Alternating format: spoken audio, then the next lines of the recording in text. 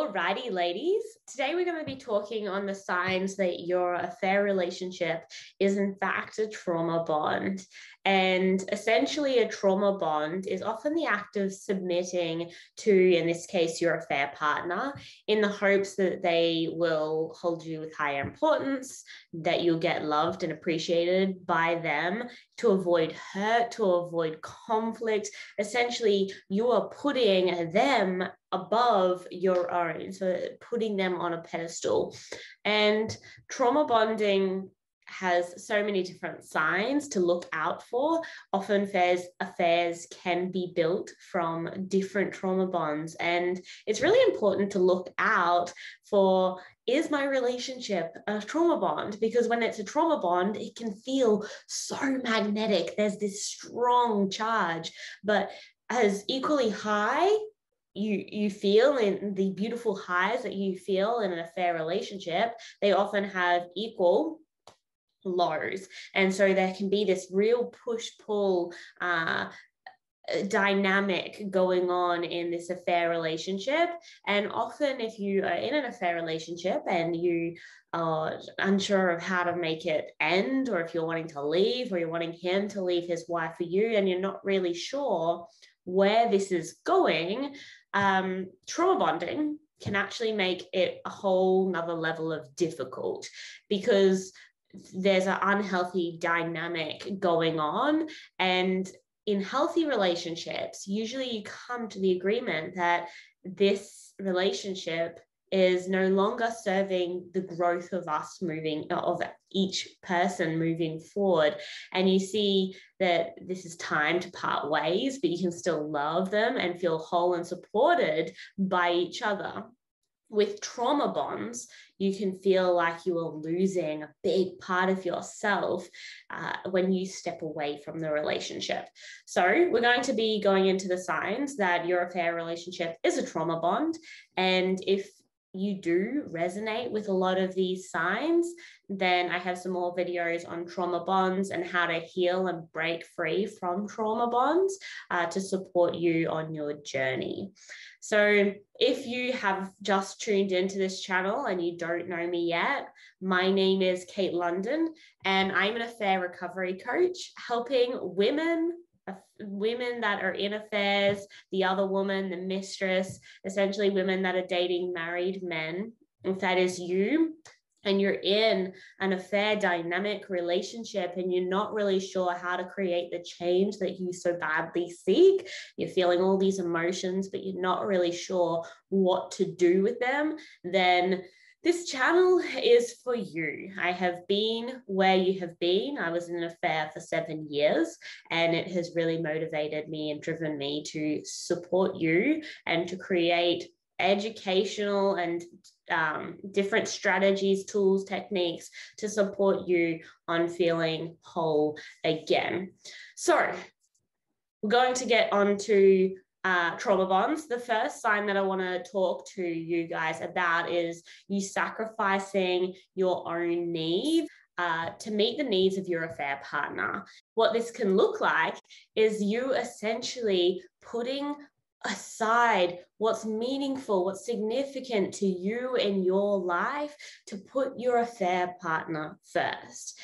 And in any healthy relationship, this this is a beautiful thing. So we do want to be able to put our needs aside to serve our our relationship, and that is a sign of healthy relationships. So what I want to get clear on here is what's the difference between healthy and unhealthy, Be- between putting someone first and putting yourself first and when to do that. And the easiest way that I could describe that for you is how it makes you feel in the end. Does it lift you up?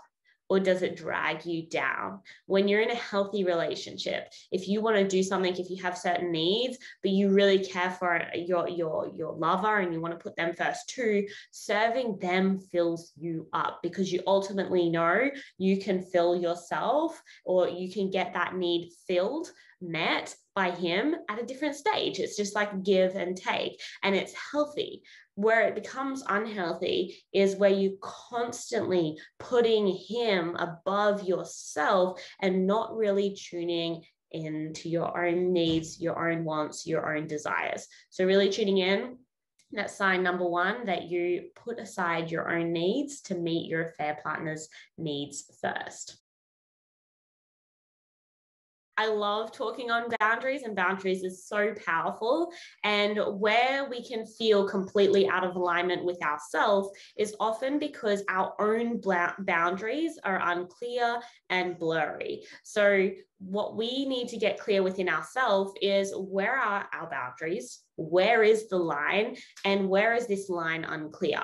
Because if we are not clear within ourselves what we stand for, what we choose to accept and don't accept, how is our fair partner going to know clearly this boundary line if we're not even making it clear within ourselves?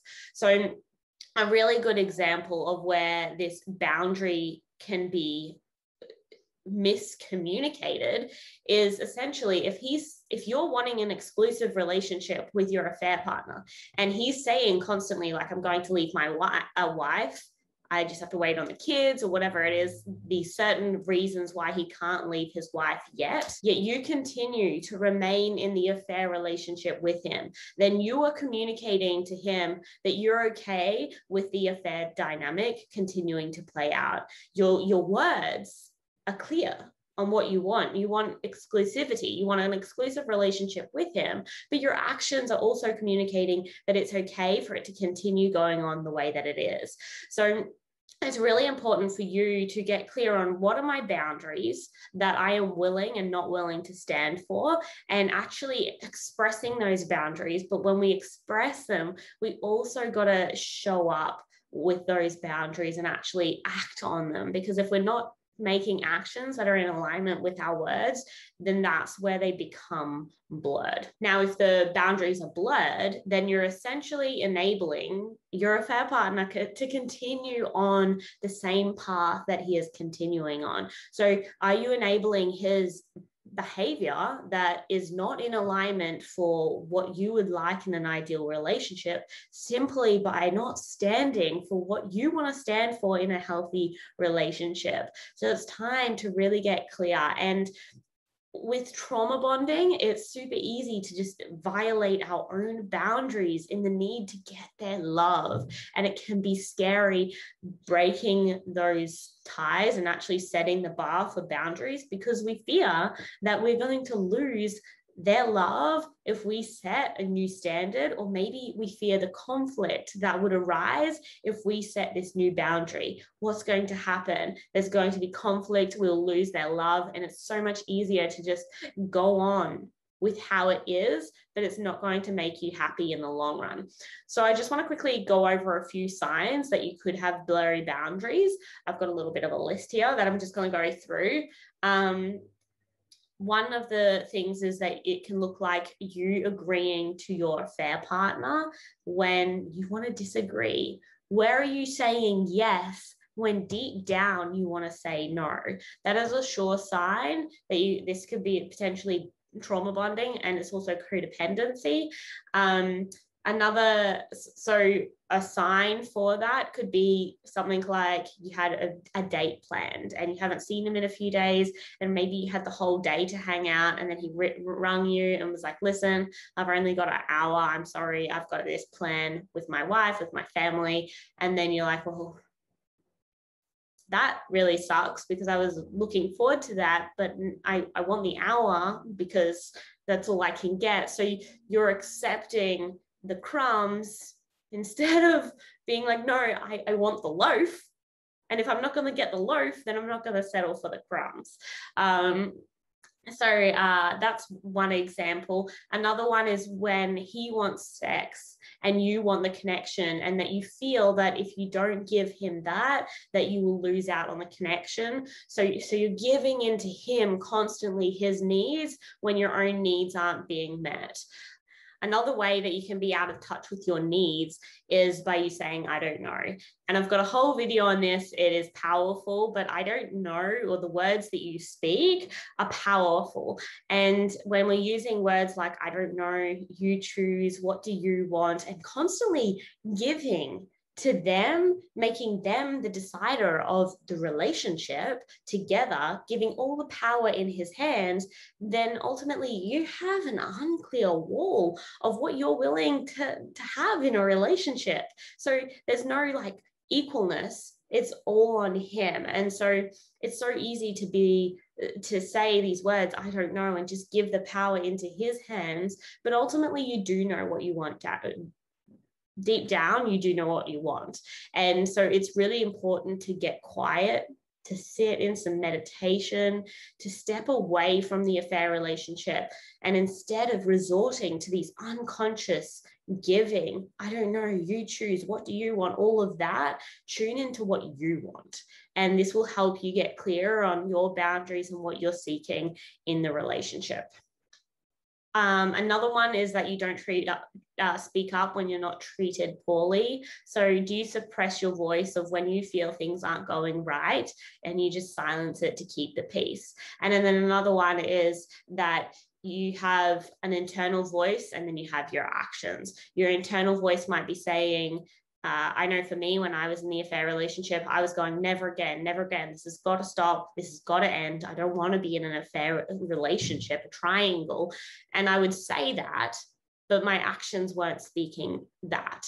And so, another reason or another way that you can look into where your boundaries are unclear is where your heart is saying one thing and your actions are saying another thing. So, that's another point of unclear boundaries.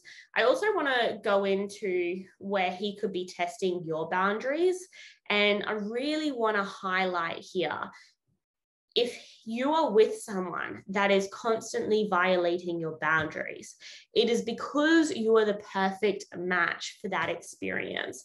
And so instead of pointing fingers on your affair partner and being like, this is, him that is like doing this or like he, he he's narcissistic or he's not listening to my needs it's because you're holding a space for him to be able to violate that. So it's really important if you want to take back your power we need to stop pointing fingers at the other person and instead start pointing it back at us and being like how am i sorry how am i the perfect match for this experience why am I attracting this experience in my life if he is violating my boundaries? Where am I violating my own boundaries? Where am I allowing that to happen? And so it's really important to take the responsibility. I want to highlight where he could be pushing your boundaries, not as a way to give that power away, but just to be have our eyes open and then we know what to look out for and then we know how to set the boundaries because our eyes are open. So one is he is persistent on your no. And if you grew up in a family where your boundaries were constantly pushed, you might actually feel like this is love, that pushing it means actually has a sense of self-worth and significance.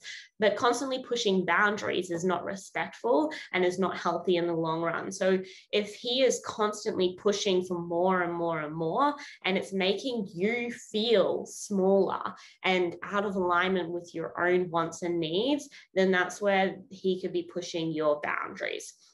You've got to be clear is if he if he is pushing them you, ultimately are training him to be able to do that or to not be able to do that. Because ultimately there's people out in this world that he cannot push their boundaries because their boundaries are clear. And so if he's pushing your boundaries it's because you're holding that space for that allowing that to happen.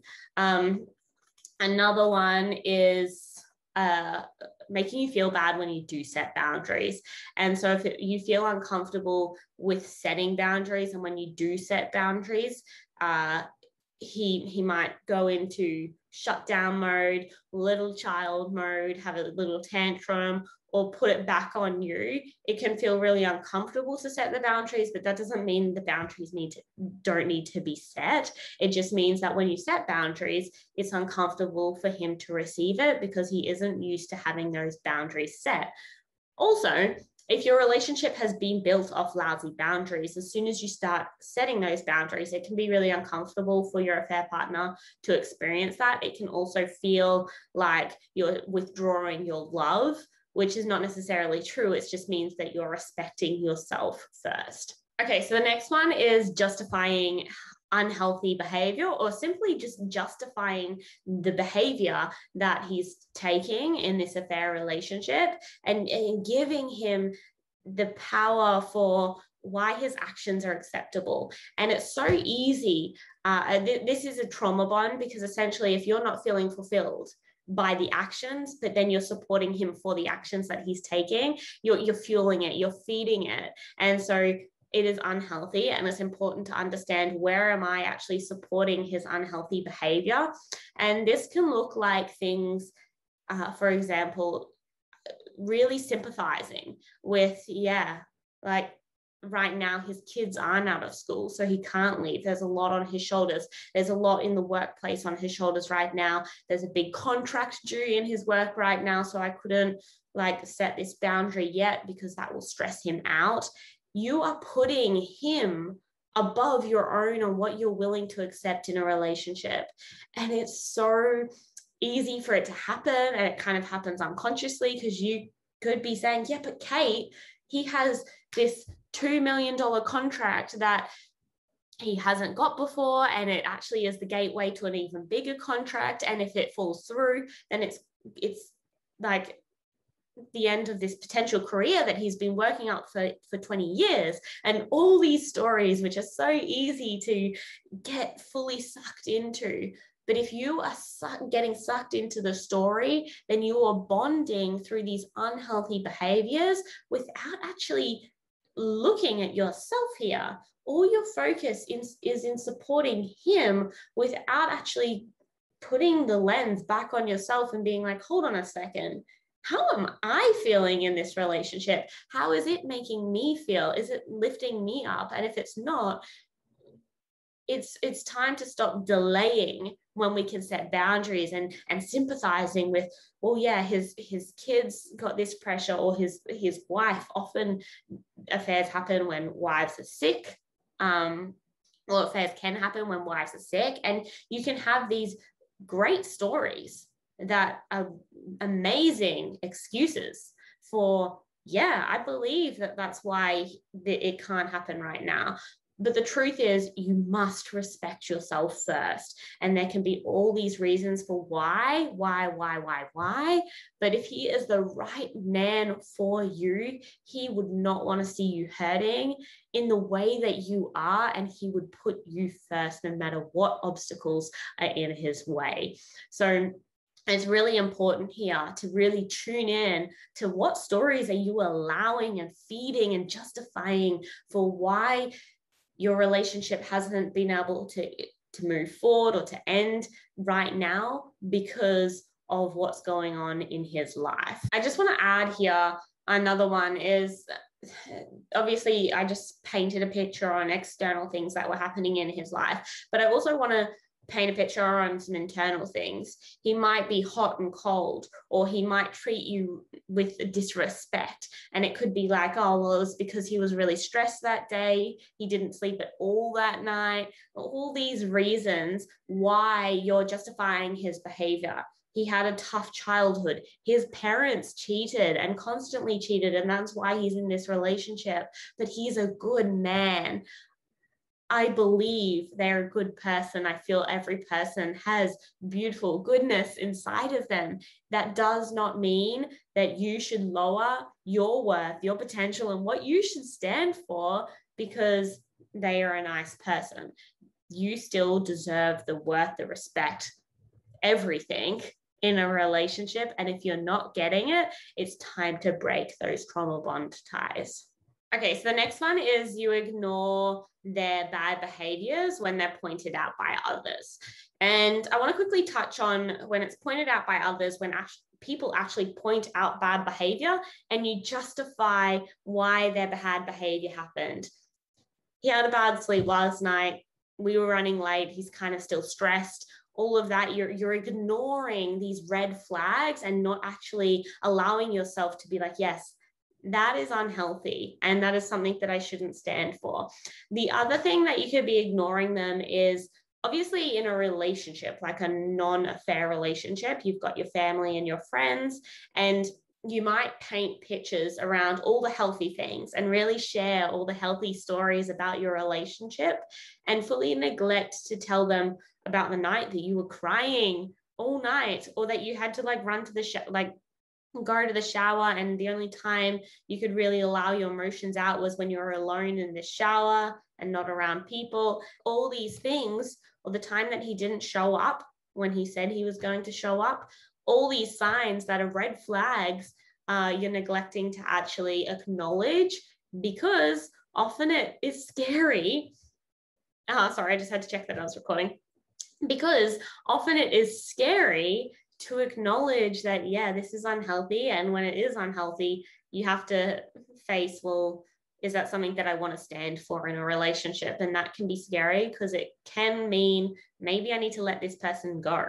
And often we don't actually want to see that. And so it's easier to be in denial than to acknowledge what's going on. And in an affair relationship, it can be taken to a whole nother level because it's a secretive relationship. You're obviously not sharing everything. And so lots of this stuff can't be seen, and it's easy to actually avoid a lot of this stuff because you're not out in public showing your relationship and people can't point out things like hmm, is that actually healthy and so it's easy for you say it's a, a workplace relationship and it's a secret, it's easy for you to talk about your boss or this coworker in all the p- positive light without actually sharing the negative light. Um, and because it's an affair relationship and no one knows about it, no one's actually going to be able to catch that this is deeper. This relationship is deeper than that they know about. And so they're not going to pull up what they're seeing because they're not seeing it because you're not sharing it. And so it's really important to see uh, in your affair relationship, are you acknowledging everything? Or are you just sharing with the people that you care about most the, the rosy parts of the relationship? Or again, a fair relationship, the rosy parts of this relationship or this man that you sometimes talk about. Okay, so the next one is you feel addicted to them. And I really love this one. This one holds so much power in the trauma bonding signs is do you feel this intensity in your affair relationship?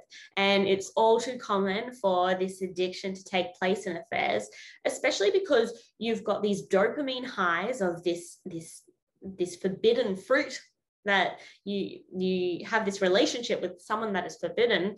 And then you also have these cortisol cortisol lows of this deep stress this this self loathing and putting yourself down for what you have done and not being able to uh, actually have your affair partner fully. And so, as much as the highs are so high, the lows are so low as well. And this can also give such a massive illusion of such a strong bond, intimacy, and connection. But the truth is, because everything is so spread apart, the depth feels really deep. But is it healthy? Is it healthy? So the addiction could look like you constantly checking your phone to see their whereabouts, to see have they like been active. Another one is to feel like fear like what are they doing? Are they cheating on me? That is not healthy. A healthy relationship is where you feel whole together but you also feel whole apart because you have each other. You know that you have each other and there's this not this constant need. And so especially in affair relationships is that intensity is so strong that it can be mistaken as chemistry uh, because it's so powerful but i want you to really tune in is is this addictive is this actually an unhealthy bond and the way you see that is really I, I obsessing over them in your mind when you're apart? Are you obsessing over the actions that they've taken, the conversations that you've had? Healthy relationship is comfortable, it's easy, it flows. And, and when you're apart, it, it's it's just as easy. You can be present with friends. You don't have to be obsessing about like their their emotions, their what their actions, what are they doing when you're not together. So that is a big one. Is you're addicted to them. The next one is you fear standing up for yourself and your desires. And when we fear doing that, there's a lack of emotional depth to the relationship because you can't be fully vulnerable. And if you can't be fully vulnerable, then you're essentially wearing this mask of who you feel you need to be for them, but it's not going to actually make you feel fulfilled in the long run. So, where are you shifting who you want to be in order to make them happy. And this can look like you being afraid to speak your truth because you don't want to hurt their feelings. This can look like you worrying about actions that you're taking because you feel that something you're going to do is wrong or it's going to upset them. This can look like you fearing you doing something because it's going to trigger an outburst, or maybe you actually fear leaving. You feel like ultimately this is not going to serve you in the long run. It's time to go. And you have this massive fear around ending it because you don't know are they going to hurt themselves? Is there going to be a massive outburst? How are they going to respond? And so you are altering the way that you show up for yourself in your life to make like to craft the right response out of them to make them happy. And so this isn't healthy. This is a trauma bond. This is where you are changing yourself in order to get the right response that you want from them instead of having the freedom to be fully you and to not have to think about it because you know that whatever you do is going to be received with respect and care and presence when you do that with your loved one. So really tune in. Are you losing a part of yourself to be loved by them because of the fear, like you're walking on eggshells all the time? And the last one is confusion. And confusion is a big one in trauma bonding because it's essentially enmeshment is you're you're enmeshed with them. So you lose a part of yourself to form this identity of one. And so this can look like you losing trust in yourself, your own decisions, and you often are seeking out the answers within your affair partner, but the answers your affair partner give may not actually align with you, and so you, you you've you've lost a part of you because you're making decisions through them. And so confusion is another big one in trauma bonding. Now, obviously, there is so many different signs to look out for in a trauma bonding affair relationship. And if your affair relationship is trauma bonded, I have that other video on how to break trauma bonds. And if you're wanting to create healthy, lasting, loving relationships long term, it is essential to be able to step away from these trauma bonds and be able to uh, create wholeness inside of you first in order to, cre- to create a healthy relationship. Because if you're creating a relationship through this trauma, this need to be loved, it, it's going to make you feel empty long term and it's going to be painful. That's why there's a lot of those intense highs and lows, is because you're both bonding through your pain. So if this is something that you, you resonate with and you're like, whoa, a lot of these signs have really hit me, I have a quiz um, that I have created around signs that your affair relationship is a trauma bond. And I'll put the link below to support you. And you can fill out the quiz. There's so many more um, topics to look out for so that you can see is my affair relationship based off a trauma bond? And if it is, then we can start healing those trauma bonds so that you feel whole in yourself. I hope that helps. If you have any questions, you can message me, leave any comments below. Thank you for joining on this journey. I look forward to supporting you with more videos. Bye for now.